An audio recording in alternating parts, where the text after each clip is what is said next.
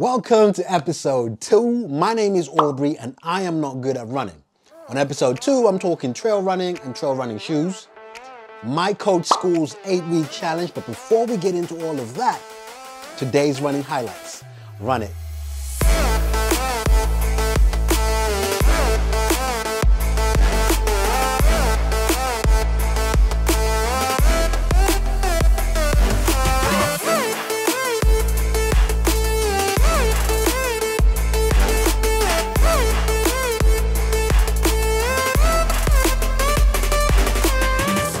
Before we get into episode two, I just want to kindly ask you guys to take time to subscribe to my channel.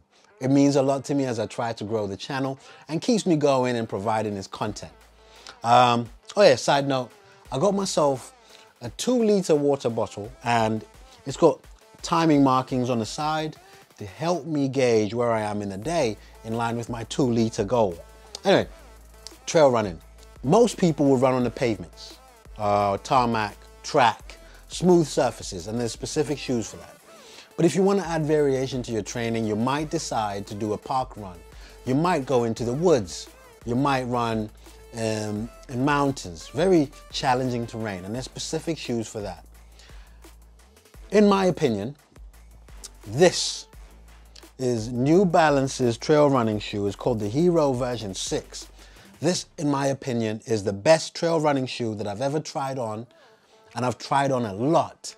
Now, On Running, have released the trail running shoe. Now, just to show you, I'm a big fan of On Running. Um, if you see what I mean. But I want to talk to you about their latest trail running shoe. The On Running Cloud Vista. Now, this thing doesn't even look like a trail running shoe. This is the most aesthetic prettiest, the most sexiest trail running shoe I've ever seen. A lot of them look like hiking shoes. Now, don't get me wrong, the Hierro 6, which I showed you before, functionally, that's one of the best running shoes I've, I've ever seen. But it doesn't look this good. Now, for me, this is not a full um, trail running shoe. I think it's that in between, that road running shoe and a trail running shoe, because it does have a very good outsole. The cushioning is there as well. Um, and it does, as with all of On Running shoes, hold your foot in a very supportive way. But the main reason I bought this shoe is simply because of the aesthetics. It looks amazing. The bad side is, because of how amazing it looks, I'm not taking this thing in the mud. I'm not taking this on a park run.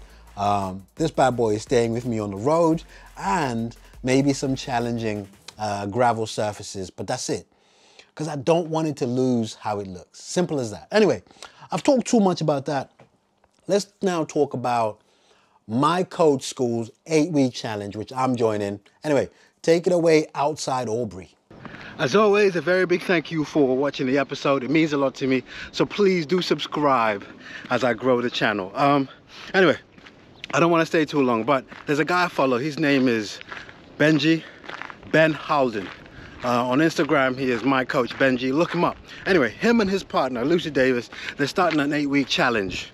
Um, for those of you that want to do a transformation, uh, whether you want to draw body fat, get yourself in better shape, um, I'm going to put the link in the description. Please look at it. If this is something you're looking to do, join them. I'm going to be doing it myself, and I'll be sharing my weekly progress update as I go. So keep an eye out for that. Otherwise, a very big thank you for watching the episode. Uh, subscribe, like, and catch me on my Instagram, aubrey.pt. Thank you very much.